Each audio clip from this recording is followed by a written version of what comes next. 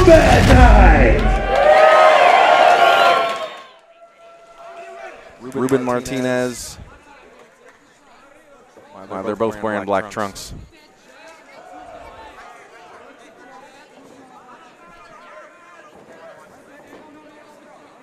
So we got George Loy with the red tape and Ruben Martinez with the blue tape.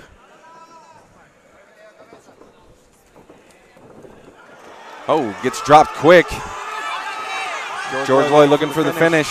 Referee didn't stop it. Ruben Martinez is back up. Weathered that nice little scramble. He still buzzed a little bit, and George Loy is landing at will. George Loy, 6'2", 170 pounds out of Combat Club. Trade low kicks.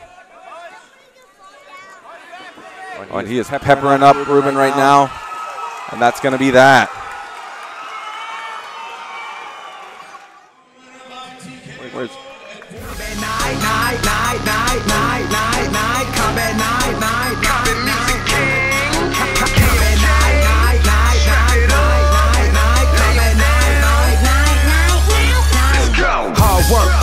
dedication, relaxing ain't no occupation. Hard kicks, submission is all part of this ass.